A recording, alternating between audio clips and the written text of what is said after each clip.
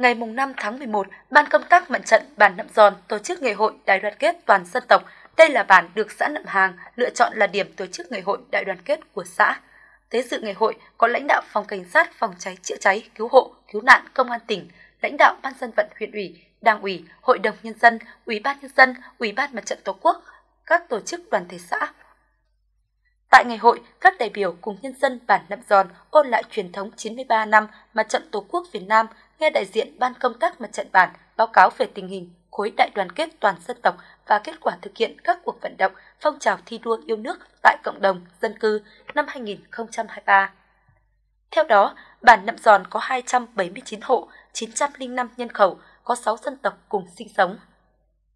Trong năm 2023, Ban công tác mặt trận và các tổ chức thành viên đã chủ động tuyên truyền, vận động nhân dân trong bản phát triển kinh tế, giảm nghèo bền vững, thành lập tổ vay vốn ngân hàng chính sách xã hội năm 2023 cho 6 hộ vay vốn.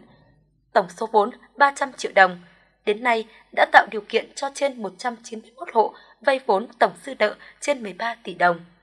tuyên truyền nhân dân phát triển các ngành nghề chăn nuôi, kinh doanh đưa cây con giống mới vào sản xuất, mở rộng kinh tế gia trại. Đến nay, trong bản chỉ còn 8 hộ nghèo, 4 hộ cận nghèo. Nhân dân trong bản luôn đoàn kết, xây dựng đời sống văn hóa mới trong việc cưới, tang, lễ hội, tích cực dọn dẹp, vệ sinh, bảo vệ môi trường. Công tác văn hóa văn nghệ được quan tâm. Trong bản có 3 đội văn nghệ thường xuyên luyện tập phục vụ nhân dân trong bản, trong xã mỗi dịp lễ hội, ngày kỷ niệm của đất nước – công tác giáo dục y tế, an sinh xã hội được triển khai có hiệu quả, nhân dân luôn đoàn kết, chấp hành tốt mọi chủ trương, chính sách của Đảng và Nhà nước, giữ gìn đảm bảo an ninh trật tự, phối hợp làm tốt công tác hòa giải ở cơ sở, hạn chế khiếu nại, khiếu kiện vượt cấp.